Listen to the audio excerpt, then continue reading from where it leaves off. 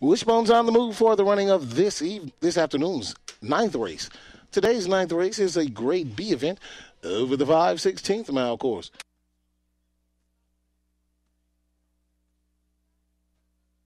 And once again from Victoryland, here's Wishbone, and they're off at the break. One, two, four, five, three, seven, six, and eight.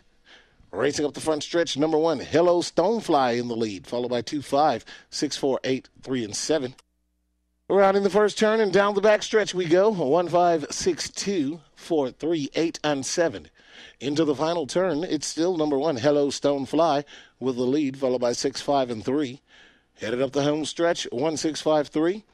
Down the stretch we come, one, six, three, five. Here comes the four at the wire, one, six, and too close for me to call.